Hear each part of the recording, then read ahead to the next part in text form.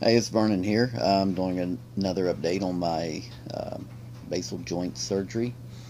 Uh, this is the end of the first full day after surgery. I had surgery yesterday, and last night was rough. But today has been much better. I took pain meds this morning and haven't had any more the rest of the day. It's starting to hurt a little bit this evening, but uh, nothing near like yesterday. So I think I'm going to be alright. Um, doctor said I would have this on two weeks and then I will go get the stitches out and we'll go from there. This will probably be the last update I do for a while because unless something changes.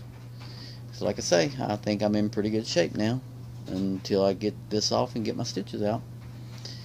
There has been a little swelling around the fingers, but I've been putting ice on that and that seems to take care of that.